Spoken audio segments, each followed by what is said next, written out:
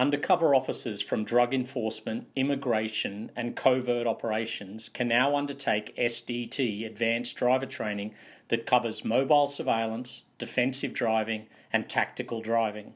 In an increasingly hostile world, SDT training can enhance the capabilities of your undercover officers to surveil, pursue, and intercept targets. These courses are typically 10 days in duration and cover modules such as the safe operation of vehicles, pre start engine and tyre checks, seating and steering techniques for optimum control, how vehicle safety systems work, defensive driving strategies to avoid costly and embarrassing collisions with public vehicles, understanding impairments from alcohol, fatigue, and distractions, crash avoidance training such as emergency braking and evasive steering, and skid recognition and recovery training.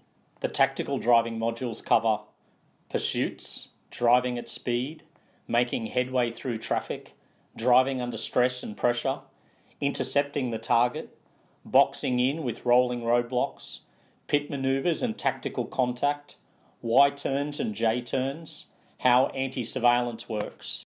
Training progresses into surveillance modules that cover techniques and strategies used in surveillance, communications between the team, dealing with anti surveillance, role play scenarios including night surveillance, motorways, low traffic situations, and different road conditions.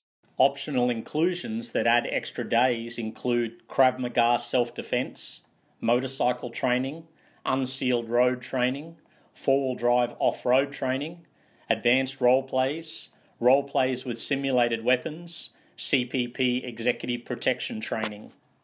SDT training can be delivered anywhere using the client's training facilities and client's vehicles, or SDT can host the training in Australia, New Zealand, Papua New Guinea, Indonesia, Singapore, Malaysia, Thailand, or Romania. We can accommodate the officers and hire the necessary training facilities that have skid pans, large manoeuvring areas, and various circuits.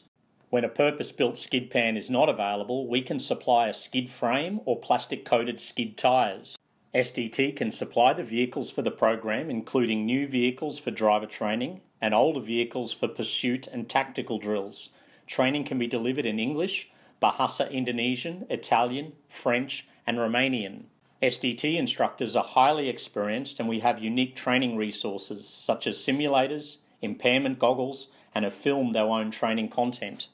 Contact SDT for more information about our surveillance plus defensive plus tactical courses.